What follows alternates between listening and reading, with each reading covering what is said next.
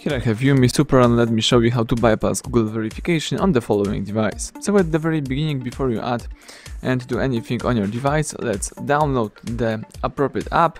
The link to the application will be under the video in the description and then let's copy that app on your microSD. So here I have my microSD with the app uh, on the following microSD card. So afterwards let's start going through the initializing setup process so let's choose get started. Let me skip inserting sim card. Let me set up as a new my device. Now you need to connect your phone to a wi-fi. So let me find my wi-fi. Let me tap see all wi-fi networks. Alright here I have my wi-fi. Let me enter the password Alright, if you are ready, let's tap connect. The device obtaining the IP address, the phone is checking connection. And now let's wait for the Google verification screen. Here I have verify your account screen and now you need to insert the micro SD card. So let's open the tray by using the special tool. It could be simply the Thumper tag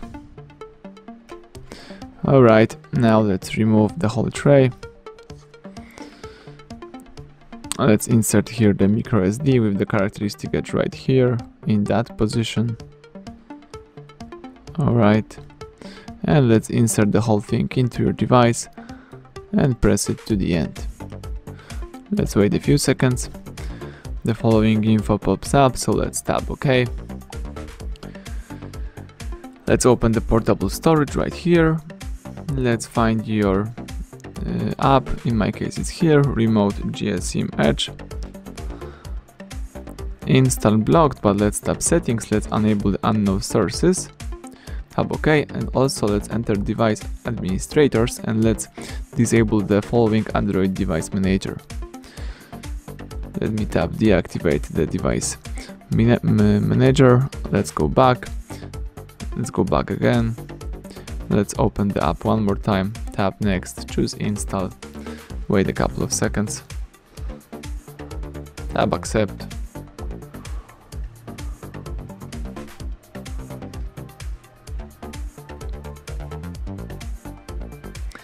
Alright, let's choose done, let's go back.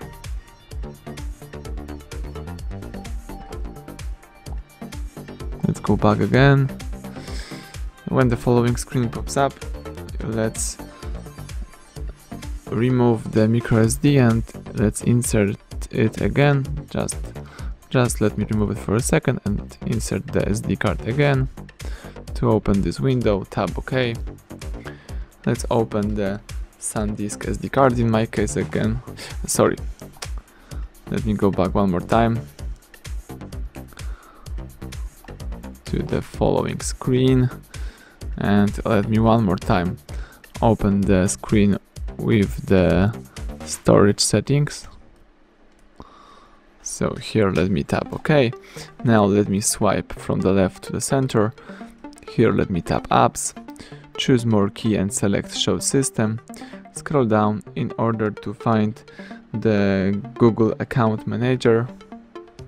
Here I have this app Google account manager. Let me tap disable tap disable app Let's go back and find Google Play services.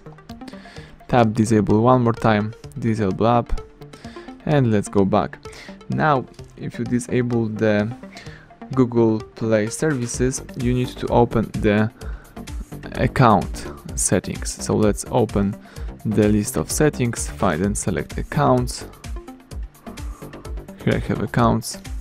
Let's choose add account, tap Google you need to add your Google account not connected to this device, it could be any Google account, even a new one. So let me connect my device with the following Google account. Let's enter the email.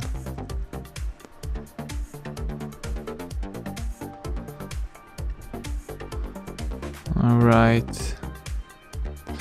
Let's tap next. Now it's time to enter the password.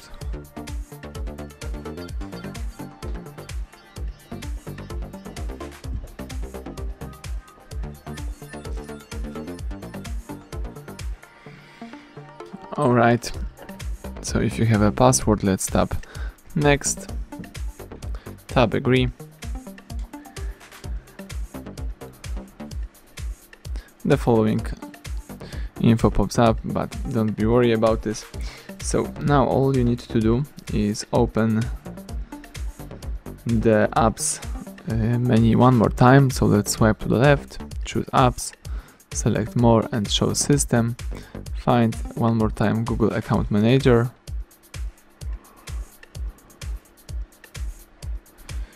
Alright, here I have Google Account Manager. Let me enable this.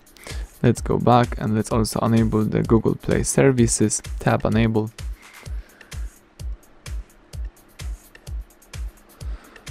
Let's go back. Let me open the accounts right now. Me find accounts. Here I have accounts. Let me open the Google and let's enable the following options. You may you have to make sure that all of them will be enabled. Now let's le restart your device by pressing the power key tap restart and tap OK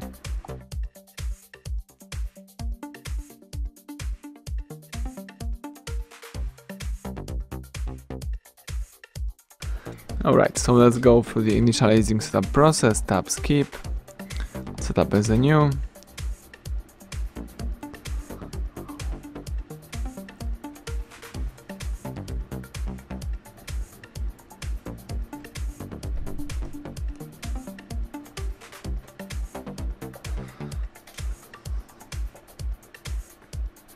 And just wait a couple of seconds.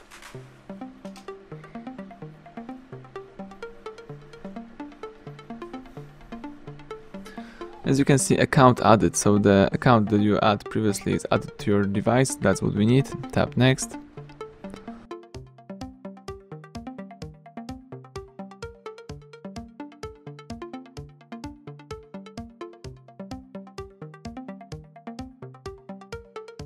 Alright, let me skip the fingerprint management, skip anyway. Let's tap setup later the following settings. Now you can use your device, but to fully erase the FRP, let's perform the hard reset by using settings. Tap settings, find and select backup and reset, choose factory data reset, tap reset phone and tap erase everything. Now let's wait until your device will perform the hard reset operation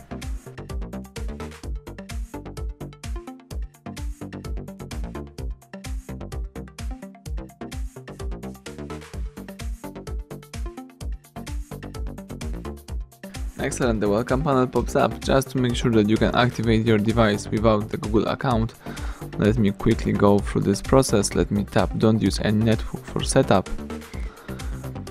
Tap next a couple of times. Tap next again. Skip the fingerprint choose setup later and that's it. The home screen pops up so it means that everything went well. Thank you for watching. Please subscribe our channel leave thumbs up under the video